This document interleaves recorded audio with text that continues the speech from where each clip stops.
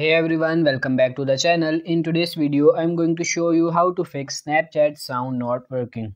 If you are facing the issue, you are making the video where uh, background music is running and you make the video but your sound is not coming on snapchat. So i will show you how to fix this. So first of all you just have to open the snapchat application and then tap on your profile icon in the upper left corner.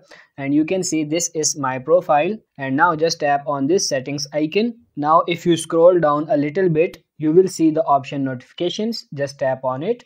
And now you have to scroll down and make sure you just enable all these notifications. Now just get back and either you can go for settings or you can tap and hold on it and tap on this app info when now when you are on settings you just have to tap on this permissions and just make sure you allow all the permissions. Like in my case these are not allowed. So i'm going for allow these permissions like this. So just make sure not any permission is denied. So after this if you make the video your sound will be working on the snapchat.